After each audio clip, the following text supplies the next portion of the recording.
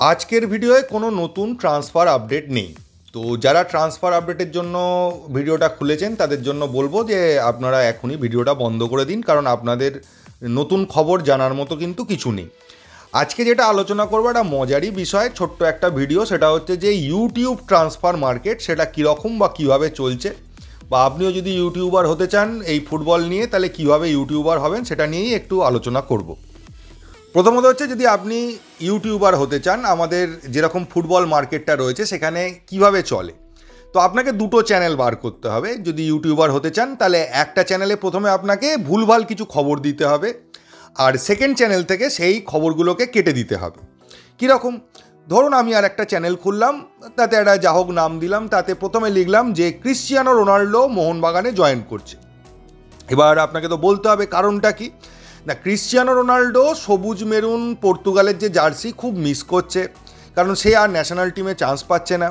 সেই জন্য মোহনবাগান কর্তারা তাকে রাজি করিয়ে ফেলেছে এবং মোহনবাগান কর্তারা চাইছে যে সেই মোহনবাগানে জয়েন করুক এবং সেও রাজি আছে, কারণ সবুজ মেরুনের প্রতি তার একটা টান অনেক দিন থেকে ছিল। তাই তিনি পর্তুগাল ছেড়ে মানে পর্তুগালের যে খেলতে পারছেন না দেশের হয়ে, সেই অভাবটা পূরণ করার জন্য মোহনবাগানে জয়েন করছেন। এরকম একটা ভিডিও বানালেন। চারদিক থেকে লোকে গালিগালাজ করলে এইসব কী ভুলভাল খবর? রোনাল্ডো কখনো আসতে পারে? হ্যান ত্যান। আর একটা চ্যানেল থেকে আপনি বললেন, কিছু জায়গায় শোনা যাচ্ছে যে ক্রিশ্চিয়ানো রোনাল্ডো মোহনবাগানে জয়েন করতে চলেছে। এই খবরের সত্যতা কি? তারপর বললেন, না, এই খবরের কোনো সত্যতা নেই। ক্রিশ্চিয়ানো রোনাল্ডোর যার বাজেট যে টাকায় তিনি খেলেন, সেটা মোহনবাগানের পক্ষে দেওয়া সম্ভব নয়। তাই এটা একটা গুজব, একটা রিউমার এই খবরটায় বিশ্বাস করবেন না। এইভাবে আপনি ইউটিউবে এক দুটো চ্যানেল খুলে আপনার মেন ইউটিউব চ্যানেলটাকে কিন্তু একটা বড় জায়গায় নিয়ে যেতে পারেন। এরকম একটা ওয়েতে আপনি ইউটিউবার হতে পারেন।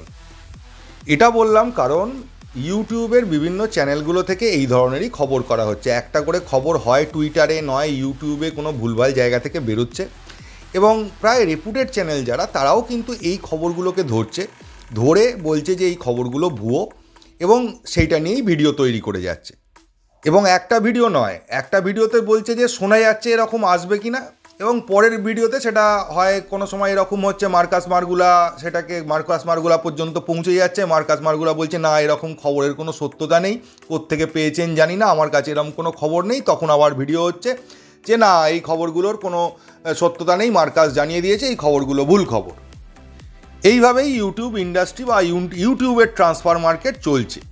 এবার যদি চলে আসি আসল খবরে, আসল খবর এটা যে আপনারা যে এতগুলো নাম শুনেছেন, মোহনবাগানে বিভিন্ন প্লেয়ার আসছে, অনেকে আমাকে কালকেও মেসেজ করেছে যে এরা এরা আসছে কনফার্ম কিন্তু যদি মার্কাস মারগুলার টুইটগুলো দেখেন, সেখান থেকে বুঝতে পারবেন যে ম্যাক্সিমাম খবরগুলোকেই কিন্তু মার্কাস মারগুলা বলেছে।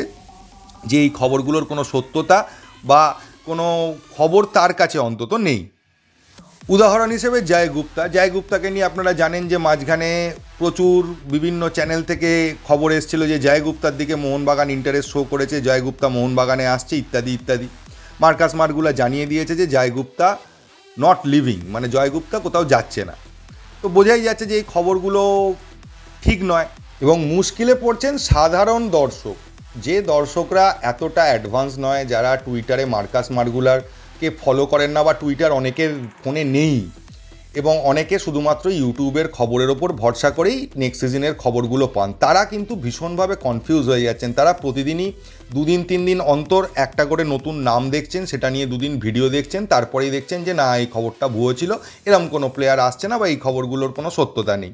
তো তারা ভীষণভাবে কনফিউজ হচ্ছেন এবং মিসগাইডেড হচ্ছেন।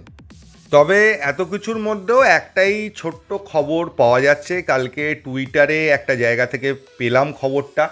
তো খবরটা সত্য, মিথ্যে জানি না, তবে যেখান থেকে টুইটটা এসছে, সেখানে লেখা ছিল যে, হুগো বুমোসকে নিয়ে এখনও মোহনবাগান কিন্তু ফাইনাল ডিসিশানে আসেনি।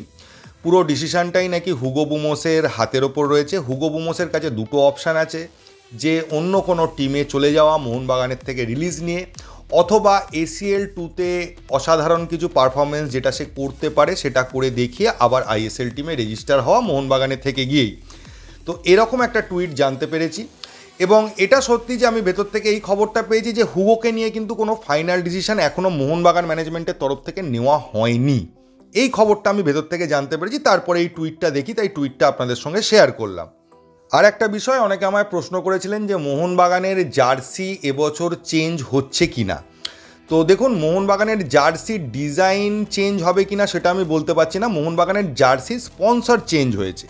হ্যাঁ এই খবরটা রেসপোর্টস ব্রেক করেছে যে হ্যাঁ মোহনবাগানের যে নিভিয়া স্পন্সর ছিল ড্রেসের, সেটা চেঞ্জ হয়ে একজন আমেরিকান কোম্পানি, সরি, একটা আমেরিকান কোম্পানির সাথে টাই আপ হয়েছে, তারাই এবার থেকে মোহনবাগানের কিট তৈরি করবে।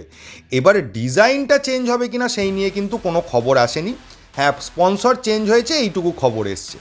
তো এই মোটামুটি ছিল মোহনবাগানের আপডেট আর কোনো আপডেট মোহনবাগানকে নিয়ে পাইনি। তো এই ভিডিওতে এইটুকুই। যদি ভিডিওটা ভালো লাগে প্লিজ চ্যানেলটাকে সাবস্ক্রাইব করবেন। থ্যাংক ইউ ধন্যবাদ এবং জয়! মোহনবাগান